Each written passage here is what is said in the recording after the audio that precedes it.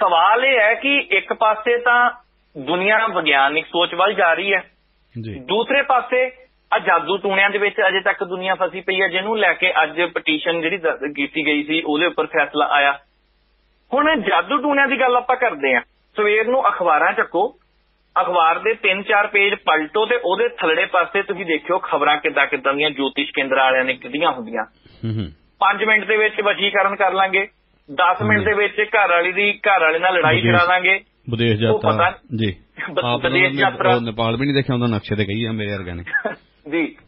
ਹੁਣ 10 ਮਿੰਟ ਦੇ ਵਿੱਚ ਜੇਕਰ ਬੀਬੀ ਮੀਆਂ ਬੀਬੀ ਦੀ ਕਹਿੰਦੇ ਅਸੀਂ ਲੜਾਈ ਛਡਾ ਦਾਂਗੇ ਪਤਾ ਨਹੀਂ। ਅੱਜ ਤੱਕ ਭਾਵੇਂ ਆਪ ਸਾਰੀ ਜ਼ਿੰਦਗੀ ਲੜਦਾ ਰਹਿੰਦਾ ਹੋਵੇ ਘਰ।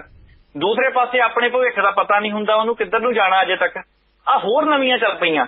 ਆਈਲੈਟਸ ਦੇ ਵਿੱਚ ਬੈਂਡ ਨਹੀਂ ਆਉਂਦੇ। ਉਹ ਮਿਲੋ। ਆ ਕੇ। ਪਤਾ ਨਹੀਂ ਕਿੱਦਾਂ ਆ ਜਾਣੇ ਆ।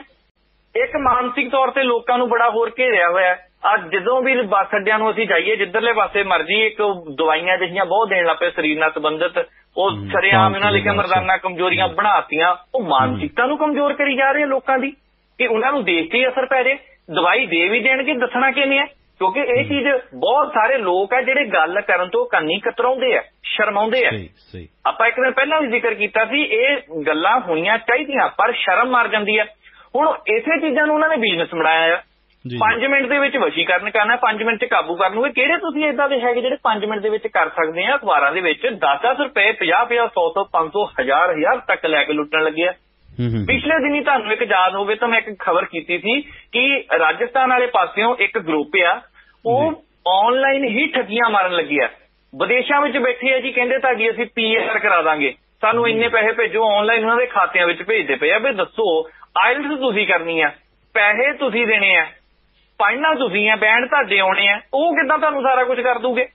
ਆ ਨਹਿਰਾਂ ਜਿਹੜੀਆਂ ਆ, ਪਾਣੀ ਘੱਟ ਮਿਲਦਾ ਅੱਜ ਕੱਲ ਕੱਪੜਿਆਂ 'ਚ ਲਪੇਟੇ ਹੋਏ ਨਾਰੀਅਲ ਜ਼ਿਆਦਾ ਮਿਲਦੇ ਆ, ਫੋਟੋਆਂ ਸਾਰਿਆਂ ਦੀਆਂ ਦੇਖੀਆਂ ਆਪਾਂ ਘਰ ਦੇ ਵਿੱਚ ਰੱਖਦੇ ਨਹੀਂ, ਜਦੋਂ ਖਰਾਬ ਹੁੰਦੇ ਆ ਜੀ ਕਹਿੰਦੇ ਪਾਣੀ 'ਚ ਰੋੜ ਦੋ। ਉਹ ਪਾਣੀ ਕਿੰਨਾ ਵੀ ਸ਼ੁੱਧ ਹੁੰਦਾ ਜਿਹੜਾ ਪਿੱਛੇ ਆਉਂਦਾ ਉਹਦੀ ਸ਼ੁੱਧੀਕਰਨ ਕਿੱਥੇ ਉਦੋਂ ਤੁਹਾਡੇ ਖਿਆਲ ਕਿੱਥੇ ਜਾਂਦੇ ਆ? ਲੈ ਲੈ ਕੇ ਨਾਰੀਅਲ ਲਪੇਟ ਕੇ ਉਹੀ ਨਾਰੀਅਲ ਫਿਰ 10 ਰੁਪਏ ਦੀ ਜਦੋਂ ਵਿੱਚੋਂ ਗਿਰੀ ਖਾਂਦੇ ਆ ਇੱਕ ਇੱਕ ਤੇ ਬੜੀ ਖੁਸ਼ ਹੋ ਕੇ ਖਾਂਦੇ ਆ ਕਿ ਫਰੈਸ਼ ਨਾਰੀਅਲ ਮਿਲਿਆ। ਹੁਣ ਇਹ ਸਾਰੀਆਂ ਚੀਜ਼ਾਂ ਸਮਝਣ ਦੀ ਲੋੜ ਹੈ ਪਰ ਅੱਜ ਸੁਪਰੀਮ ਕੋਰਟ ਨੇ ਜਿਹੜੀ ਇਹ ਪਟੀਸ਼ਨ ਦੇ ਉੱਪਰ ਗੱਲ ਕਹੀ ਹੈ ਕਿ 18 ਸਾਲ ਤੋਂ ਬਾਅਦ ਜਿਹੜੇ ਬੱਚੇ ਆ ਉਹਨਾਂ ਨੂੰ ਧਰਮ ਪਰਿਵਰਤਨ ਨੂੰ ਨਹੀਂ ਕਹਿਣਾ ਆਪਣੀ ਮਰਜ਼ੀ ਜਿੱਧਰ ਮਰਜ਼ੀ ਜਾਣ ਆ ਜਾਦੂ ਕਾਲੇ ਜਾਦੂ ਵਾਲੀ ਪਟੀਸ਼ਨ ਨੂੰ ਤਾਂ ਉਹਨਾਂ ਨੇ ਨਕਾਰ ਹੀ ਦਿੱਤਾ ਉਹ ਕਹਿੰਦੇ ਇਸ ਤਰ੍ਹਾਂ ਦੇ ਸੁਪਰੀਮ ਸਾਨੂੰ ਇਹ ਚੀਜ਼ਾਂ ਪੁੱਛੂਗੇ ਹੁਣ ਅਸੀਂ ਇਹੀ ਕਰਨ। ਬੈਠੇ ਆ ਵਕੀਲ ਨੂੰ ਵੀ ਝਾੜ ਪਾਈ।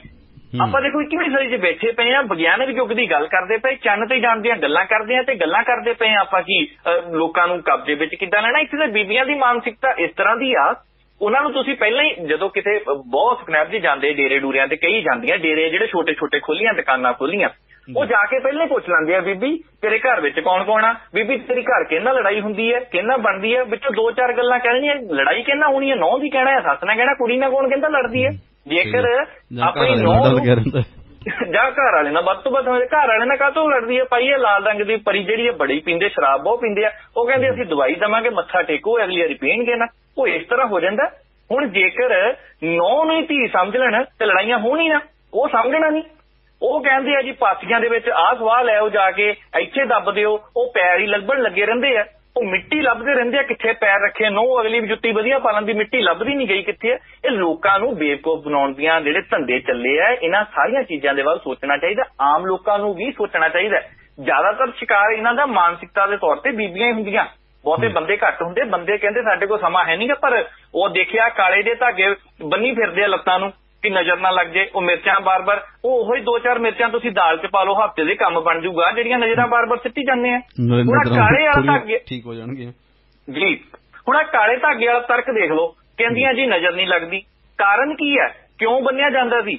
ਉਹ ਬੀਬੀਆਂ ਬੰਨ੍ਹਦਾ ਜਾਂਦੀਆਂ ਸੀ ਤੜਾਗੀ ਬੰਨ੍ਹਦੇ ਸੀ, ਬੱਚੇ ਦੀ ਸਿਹਤ ਦਾ ਪਤਾ ਲੱਗੇ ਕਿ ਕਿੰਨੀ ਕੁ ਵੱਧਦੀ ਫੁੱਲਦੀ ਹੈ ਲੱਤ ਨੂੰ ਬੰਨ੍ਹਦਾ ਸੀ ਪਤਾ ਲੱਗ ਜਾਂਦਾ ਸੀ ਕਿ ਲੱਤ ਉਹਦੀ ਕਿੰਨੀ ਕੁ ਮੋਟੀ ਹੋ ਰਹੀ ਹੈ ਬੱਚੇ ਦਾ ਵਾਧਾ ਫੁੱਲਦਾ ਕਿੰਨੇ ਕਾ ਆ। ਹੁਣ ਵੱਡਿਆਂ ਨੇ ਬੰਨੀਆਂ ਪਈਆਂ, ਆਖੇ ਨਜ਼ਰਾਂ ਨਹੀਂ ਲੱਗਦੀਆਂ, ਵੱਡਿਆਂ ਨੇ ਹੁਣ ਕੀ ਵਧਣਾ ਫੁੱਲਣਾ?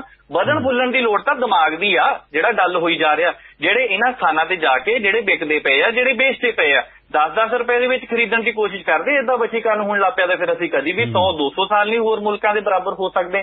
ਇਹਨਾਂ ਚੀਜ਼ਾਂ ਤੋਂ ਨਿਕਲਣ ਦੀ ਲੋੜ ਹੈ। ਸੁਪਰੀਮ ਕੋਰਟ ਨੇ ਵੀ ਇਹੀ ਕਹਿਣ ਦਾ ਯਤਨ ਕੀਤਾ, ਜਿਹੜੀ ਉਹਨਾਂ ਨੇ ਇੱਕ ਪਟੀਸ਼ਨ ਤਾਂ ਕਹਿਤਾ, ਆਉਣੀ ਨਹੀਂ ਚਾਹੀਦੀ ਕਦੀ ਵੀ ਇਦਾਂ ਦੀ। ਧਰਮ ਪਰਿਵਰਤਨ ਲੈ ਕੇ ਉਹਨਾਂ ਨੂੰ ਕਹਿਤੀ ਹੈ, ਕਿਸੇ ਦੇ ਦਬਾਅ ਨਹੀਂ ਬਣਾਇਆ ਜਾ ਸਕਦਾ। ਹਰ ਇੱਕ ਦੀ ਆਸਥਾ ਹੈ ਆਸਥਾ ਦਾ ਸਵਾਲ ਹੈ, ਜਿੱਧਰ ਮਰਜ਼ੀ ਜਾਵੇ, ਨਹੀਂ ਰੁਕਣਾ।